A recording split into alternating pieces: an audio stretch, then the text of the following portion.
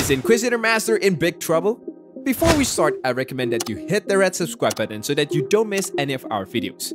Hello guys and welcome back to another video here on our YouTube channel. Guys, today in this video we're going to talk about Inquisitor Master and how she might be in trouble.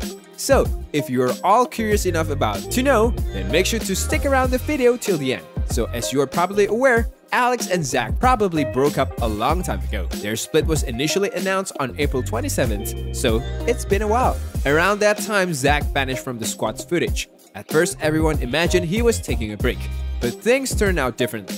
The next thing that transpired astounded everyone. On May 24th, Zach uploaded a video featuring the squad of his own YouTube channel. But it wasn't the squad that everyone was expecting. Zach's squad consisted of completely different members, with Drake being the only one who had previously served in Alex's team and was one of the most well-liked. This sparked a lot of debate and skepticisms, but few people believed the couple have genuinely broken up.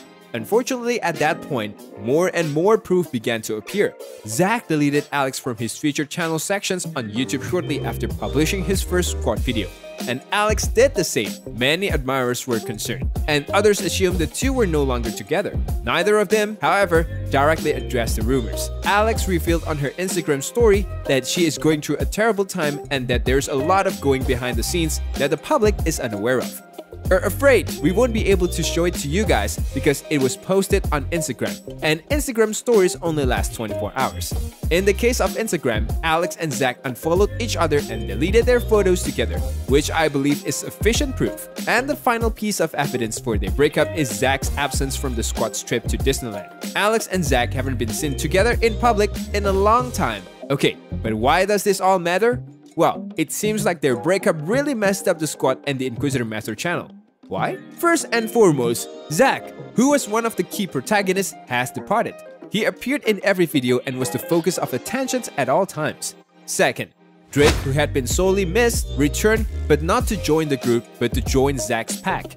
This isn't the end of it. Although many people believe that all of the squad members would eventually leave to join Zach's pack, has anyone else joined the pack so far? Well, it appears that two well-known members of the Inquisitor Master Squad are currently or have been members of the Z Squad. Who? They are, after all, Jade and Charlie. It sounds crazy, I know. Isn't that so? But how can we be so sure? First and foremost, Zach's Squad Wiki has just updated to include two new members, Charlie and Jade. Don't you think it's a little insane? But why would they want to be a part of it in the first place? Based on first impressions, Jade and Charlie were closer to Zach than Alex, that is to say, it makes logic. Aren't you convinced? Zach and Charlie were buddies, according to the squad's wiki page. A lot of people believe Alex was abusive to her teammates. You know, they're not treated decently and aren't compensated adequately. Is it possible that Jade and Charlie will go as well? Zach may have also offered to pay more for the films. It's a possibility given how much money he earns. Guys, do you know there are also rumors that Jade left the Inquisitor Master Squads to be with her fiance Drake, as she wanted to prepare for her marriage plans.